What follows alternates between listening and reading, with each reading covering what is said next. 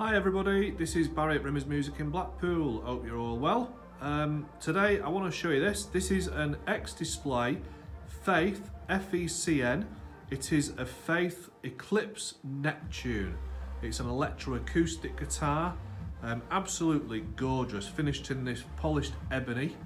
Um, I'll just take you around it. Um, here's the headstock. Move down the neck. Now, we've got a solid top. Faith guitars are absolutely great as far as specifications concerned, and we do really, really well with them in the store. Um, it's a Patrick Eggle company. Uh, Patrick Eggle, if you've uh, not heard of him, is a, a world-renowned uh, guitar builder. Um, and the good thing about the Faith guitars is that they, are all solid. Uh, so in the case of this one, it's a solid Engelmann spruce top and it's a solid mahogany back and sides.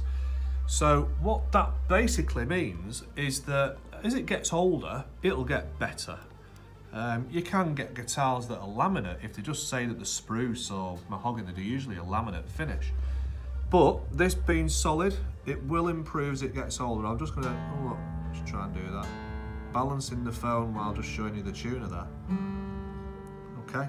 And that's the tuner built into the preamp uh, on the side of the instrument.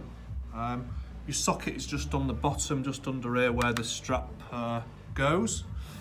Um, and if we just move around the front, move around to the other side, just try and show you that. There you go.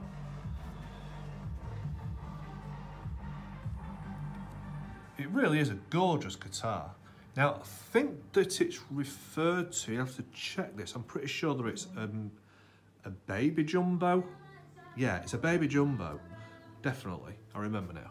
Let me just turn it round and show you the back. This is really weird, I'm not used to doing this. I like to look at the phone, I'm to look at the guitar. right, um, there's the back. Just move down, show you the back of the body. Now then, this is going to be really hard to show you, but there are, it, oh, it's got some marks on the back of it, but the hard, they're really hard for me to get on camera. Let's try the other side, see if I can get anywhere at the other side.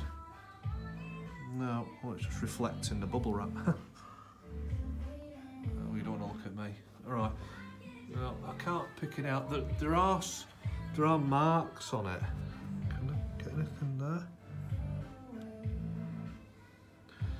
I mean, it, obviously, it's not really bad. I mean, I'd, I'd, say, right, so if somebody came in and asked me, I'd probably tell them that it was, you know, when you're cleaning things and you get the skate marks on things. Can you, oh, there you go. Can you see a bit there, look? Can you see what I mean? It's just kind of at the, there, look. And there's, it's got them on the back as well and on the front. But as you can tell, I'm trying my hardest to get, get them pictured. I'm not doing very well. But there you go. Let me just turn it round again. Oops.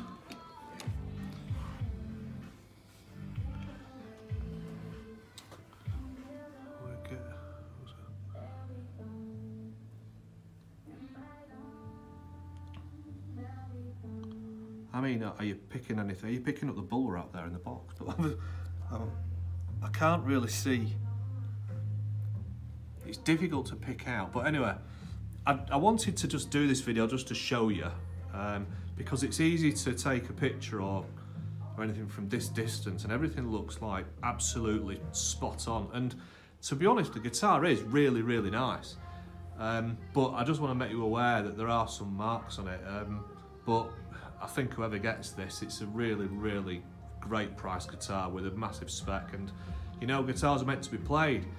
So hopefully you like this video. Uh, anyway, I'll speak to you soon. Bye bye now.